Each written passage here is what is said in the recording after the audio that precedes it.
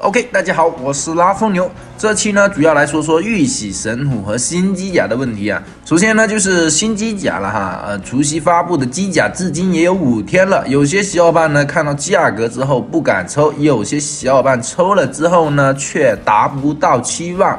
什么问题呢？就是防撞、手感、舒适性的问题呀。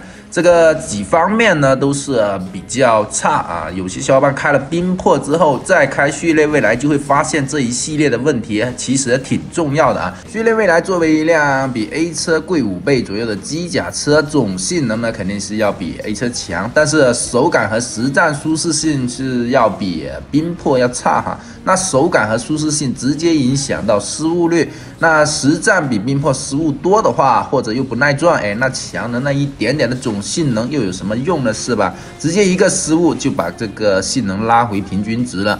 所以呢，很多小伙伴都来跟我说，这个机甲车呢一点也不像两千多的性能啊，跑起来比冰魄还要差，叫我做一期视频看看反馈一下。这方面确实啊，花了一个比原级之星贵的价格抽了一辆新机甲，体验却要比原级之星差了很多，这个世人都有点失落，是吧？然后就是玉玺神虎的问题，玉玺神虎呢目前已经破了几个小黑的国服了，所以呢也可以证明玉玺神虎跟咱们呃所预料的是一样。可以破一部分小黑的国服啊，所以呢，没有小黑的话可以抽一下神虎，但是有小黑的话，目前我是不建议抽这个神虎的哈。